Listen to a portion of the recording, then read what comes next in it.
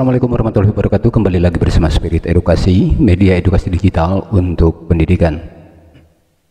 Sahabat edukasi Bapak dan Ibu Guru Pada kesempatan ini saya akan berbagi informasi ringan Yaitu Bagaimana mendesain RPP satu lembar Melalui Canva.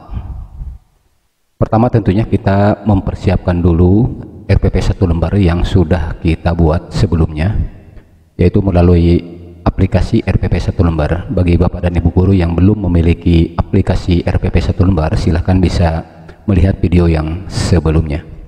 Bagi sahabat edukasi yang belum subscribe silahkan untuk subscribe terlebih dahulu. Dan saya ucapkan terima kasih kepada yang sudah subscribe. Dan apabila dirasa konten ini bermanfaat silahkan untuk klik tombol jempolnya dan berikan komentar di kolom komentar. Dan jangan lupa untuk memujikan loncengnya agar selalu update konten berikutnya Selanjutnya Bapak Guru, kita buka web browser kita dan ketikkan di sini canva.com. canva.com. Sini sudah masuk ke sini. Apabila Bapak dan Ibu belum registrasi, silakan untuk registrasi. Apabila sudah, silakan melakukan login. Nah, ketika berada di sini, Bapak dan Ibu sekalian, kita langsung klik desain atau buat desain yang ini, klik desain. Kemudian kita pilih di sini ada berbagai macam pilihan ada mulai dengan gambar, presentasi, poster, resume, logo, ini macam-macam banyak sekali Bapak dan Ibu. Ini bisa dimanfaatkan di Canva ini. Tapi karena kita ingin mendesain RPP satu lembar, maka yang kita pilih adalah dokumen A4. Nah, yang ini. Dokumen A4 diklik. Baik, Bapak dan Ibu, ini sudah masuk ke lembar kerja kita, lembar yang kosong. Nah, ini bisa dibesarkan misalkan. Nah, bisa dibesarkan seperti ini Selanjutnya Bapak Ibu, kita mencari template yang cocok untuk digunakan RPP satu lembar. Tentunya Bapak dan Ibu, kita mencocokkan template yang diperuntukkan untuk dokumen, bukan untuk flyer misalkan. Nah, kita cari di sini. Ini banyak sekali. Nah, misalkan saya akan pilih yang ini, Bapak dan Ibu. Ini tinggal diklik Selanjutnya kita tinggal mendesain atau merancang di template ini. Ini kan ada beberapa tulisan, ya, ada beberapa jenis huruf dan sebagainya. Ini tinggal diganti saja. Termasuk misalkan kita ingin mengganti warna. Nah ini, ini warna mau diganti bisa. Ini tinggal diklik, kemudian dipilih mau menggunakan warna apa, misalkan. Contoh warna yang agak gelap, misalkan. Bisa. Kemudian yang apa warna ini juga misalkan kalau mau diganti dengan warna yang lain silakan. Lah itu boleh-boleh saja. Ini kan merdeka belajar jadi kita juga merdeka untuk mendesain ya mendesain uh, eh, RPP baik Bapak Ibu sekalian nah, kita tinggal sekarang merancang RPP misalkan ini kita akan buat judulnya RPP di sini. Ini kalau tidak terpakai yang bawahnya ini bisa dibuang. Dan ini bisa di naikkan. Nah ini karena ada garis bisa diturunkan. Ini biar bisa ke atas misalkan. Atau turunkan sedikit. Silahkan dikreasi sajalah gitu. Nah misalkan seperti ini. Selanjutnya kita akan merubah tulisan yang ada di sini. Nah ini bisa dibuat uh, nama sekolah kemudian nama mata pelajaran itu bisa disimpan di sini ya ini contoh misalkan uh, misalkan di sini nama sekolah uh, misalkan sekolah nah ini tidak diperlukan kita buang. Nah, baru di sini namanya sekolah misalkan. MP Nusantara misalkan. Kemudian mata pelajaran nah kalau mau masih menggunakan tipe ini ini tinggal di copy saja Bapak dan Ibu di copy. Ya beberapa misalkan nah supaya bentuknya sama. Ini diganti dengan mata pelajaran.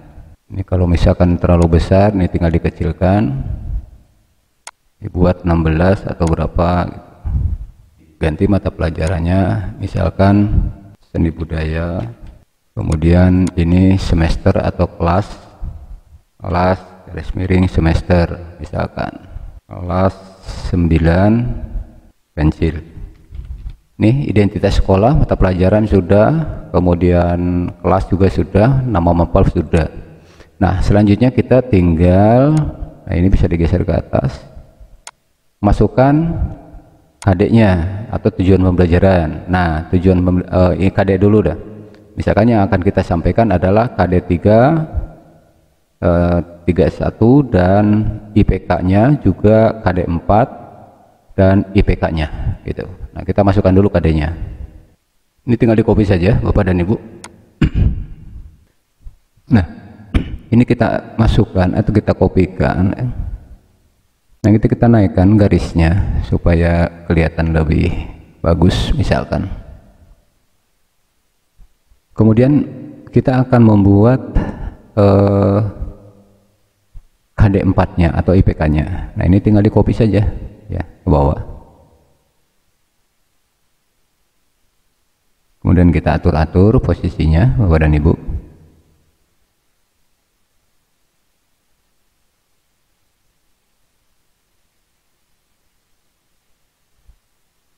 Nah, ini kita ketikkan IPK 3 kemudian di bawahnya kita kopikan IPK nya dari sini 31.1 gitu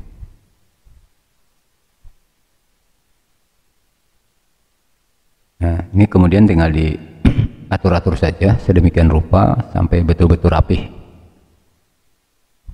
nah ini bisa jadi. Lalu kita akan membuat uh, KD 4 nya nah ini di copy kemudian masukkan KD 4 ini juga di copy ya. kita masukkan KD 4 nya di sini. IPK nya juga demikian. Ini copy saja ya Bapak dan Ibu.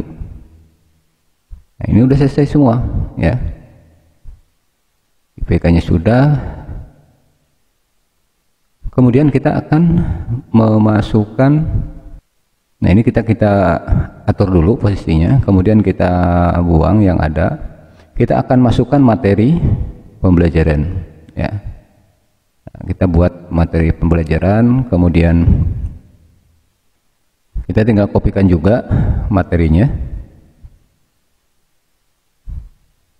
Nah, ini bisa diatur sedemikian rupa supaya kemudian kita masukkan model pembelajarannya. Nah ini juga digeser ke atas. Nah, model pembelajarannya tinggal di copy di sini. Dan ini ngopi dari RPP yang sudah jadi ya Bapak dan Ibu. Nah oke okay, jadi model pembelajarannya. Kemudian kita akan memasukkan media uh, ini dikopikan juga ngopi dari atas saja. Nah, media alat dan bahan. Nah, ini.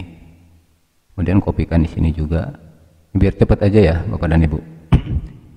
Kemudian yang terakhir kita akan masukkan asesmen nah kita kopikan dulu. Atau boleh kita geser dulu ke atas supaya lebih luas bagian bawahnya. Nah share. Nah ini sudah sudah selesai kelas, materi, kemudian model pembelajaran, kemudian asesmen juga. Nah, sekarang kita tinggal memasukkan eh, langkah-langkah uh, pembelajaran. Nah, ini tinggal copy juga langkah-langkah pembelajaran di sini. Nah, ini tinggal copy, kemudian diatur. Oke, sedemikian rupa. Oke, nah ini sudah jadi Oke, ini sudah semua ini diatur bisa diposisikan di center tengah misalkan biar lebih bagus. Nah, boleh diatur, lihat periksa lagi. Nah, ini juga model sudah, bahan ajar sudah, asesmen juga sudah. Nah, tinggal kita membuat titik mangsa ya. Di situ titik mangsa RPP yang dibuat. Tanggal berapa, siapa gurunya dan mat, uh, kepala sekolah. Nah, ini di, bisa copy dari atas saja kolomnya ya. Nah, kolom situ kemudian masukkan. Misalkan nah ini titik mangsanya.